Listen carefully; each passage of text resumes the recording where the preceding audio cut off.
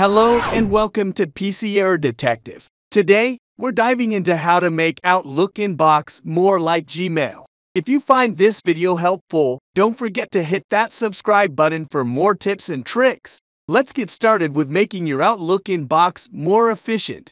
First, open Outlook and navigate to the Search Folders section. Here, you'll want to create a new search folder. Next, scroll down and select Create Custom Search Folder. Once you've done that, click the Choose button to personalize your new folder. You can name this folder Todo or any name that suits your workflow and make sure it's set to search within your inbox. Now it's time to set some criteria. Click on the Criteria button and under the Advanced tab, add a rule. This will ensure that only the tasks you haven't finished will show up in this folder.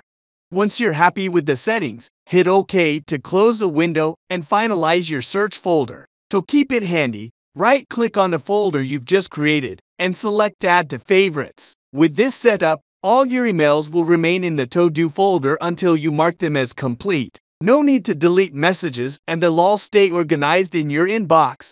And that's it. Thank you for watching and see you in the next video.